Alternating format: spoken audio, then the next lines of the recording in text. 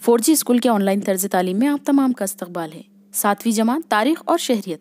सबक नंबर चार, शिवाजी महाराज से कबल का महाराष्ट्र। इस सबक की वीडियो दो पार्ट पर मुश्तमिल है, जिसकी लिंक डिस्क्रिप्शन में दी हुई है।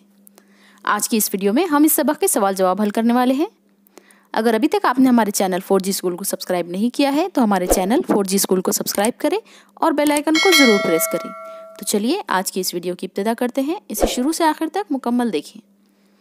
सवाल नंबर एक मुंदज झेल जदवल को मुकम्मल कीजिए। यहाँ पर आपको तीन नुक्ते दिए हुए हैं, गाँव, मौज़ा कस्बा और प्रगना।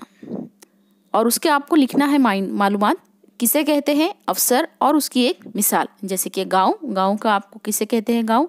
उसका अफसर और उसकी मिसाल यहाँ लिखनी है। तो चलिए इसे हल करते हैं। किसे कहते हैं? ये इसमें गाँव में लिखेंगे आप कि छोटे देहात को यहाँ का अफसर मुखिया या कुलकर्णी होता है, वाई कस्बे में छोटा सा गाँव। इसकी एक मिसाल है। अब हम देखेंगे कस्बा बड़े गाँव या या सदर मकाम को कस्बा कहते हैं। इसका अफसर शेटे और महाजनदार मुंतजिम होते थे। वाई कस्बा इंदिरापुर कस्बा इस तरह ये इसकी मिसालें हैं। प्रगना, कई गाँव को मिलाकर प्रगना बनता था।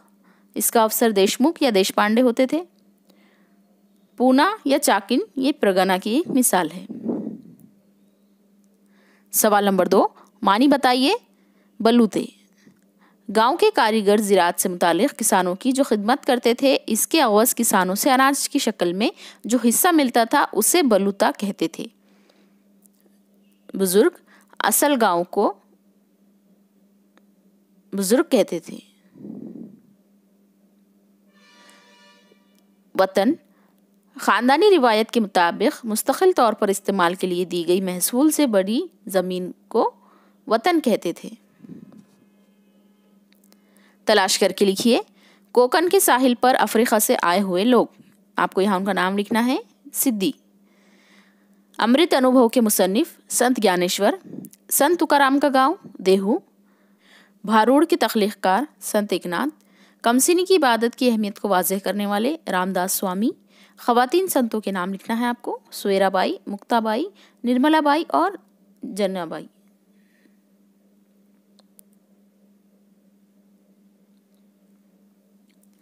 अपने अल्फाज में मालूम और कारनामे लिखिए। संत नामदेव।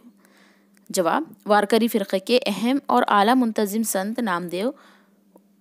मोगी से कीर्तन गाते थे और कीर्तनों के ज़रिए उन्होंने हर जात के मर्द व जन को मुतहद करके इनमें मसावत का जज्बा पैदा किया। सारी दुनिया में इल्म का दीप जलाना इनका अहद था। उन्होंने भागवत मज़हब के पैगाम गाँव गाँव पहुँचाने का काम किया। उनके लिखे हुए कुछ अशार सिखों की मजहबी किताब गुरु ग्रंथ साहब में शामिल हैं। उनके बहुत सारे अभंग मशहूर हैं। संत ज्ञानेश्वर संत ज्ञानेश्वर ने वारकरी फ़िरक़े को मजहबी वक़ार अता किया। उन्होंने अपने मजहबी अमाल की तबलीग की, जिस पर एक आम इंसान भी अमल कर सके। उन्होंने संस्कृत किताब भगवद गीता के मतलब की वजाहत करने के लिए मराठी में भावार्थ दीपिका, यानी कि ज्ञानेश्वरी नाम किताब लिखी।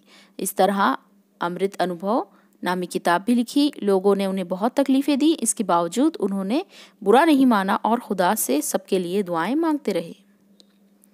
संत एकनाथ। संत एकनाथ महाराष्ट्र की भक्ति तहरीक के अहम संत थे। उन्होंने अभंग, गोड़ी, भारूड़ वगैरह मुख्तलिफ़ मुख्तलिफ़ नोत अदब तख्लीक किए। उन्होंने राम कथा के ज़रिए अवामी ज़िंदगी की तस्वीर कशी की है। संस्कृत किताब भागवत के अकीदे पर मबनी हिस्से की मराठी में वजाहत की है। उनका मानना था कि मराठी ज़बान किसी दूसरी ज़बान से कमतर नहीं है। उन्होंने अपने ज़ाती सलूक के ज़रिए लोगों को दिखा दिया कि ज़िंदगी के आला मकसद के हसूल के लिए दुनिया तर्क करने की ज़रूरत नहीं। उन्होंने दूसरे मजाहब से नफरत करने वालों पर सख्त तनखीद की है। संत तुकाराम। संत तुकाराम के अभंगों की किताब गाथा मराठी ज़बान का अनमोल विरसा है। उनके अभंग बहुत आसानी से समझ में आने वाले हैं। उन्होंने समाज में फैली हुई मुनाफ़त और ज़यीफ़ुल पर कड़ी तनखीद की। उन्होंने अक़ीदत और अखलाक को अहमियत दी, गरीबों और मज़लूमों में खुदा का जलवा देखने की नसीहत की।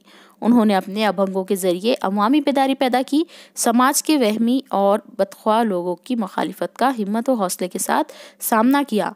उनके शागिर्द और माविन मुख्तलिफ़ ज़ातों से ताल्लुक़ रखते थे। आखिरी सवाल देखते हैं। अब खहद को लोग एक बड़ी मुसीबत क्यों मानते थे? जवाब, खहद में खेतों में फ़सल पैदा ना होने की वजह से अनाज हासिल करना मुश्किल होता था। ऐसी हालत में अनाज की कीमत बढ़ जाती थी। गाँव में पानी की किल्लत से जानवरों को चारा नहीं मिलता था, इसीलिए खहद को लोग एक बड़ी मुसीबत मानते थे। यहाँ आपके सबक के सवाल जहाँ मुकम्मल होते हैं। उम्मीद है आपको ये वीडियो पसंद आई होगी। इसे लाइक करें शेयर करें और साथ ही साथ हमारे चैनल फोर जी स्कूल को सब्सक्राइब करें। बेल आइकन को प्रेस करना ना भूलें ताकि आपको इसी तरह के तालीमी वीडियोस हासिल हो सके। तो तब तक के लिए हमारे साथ बने रहिए और अपनी पढ़ाई जारी रखिए।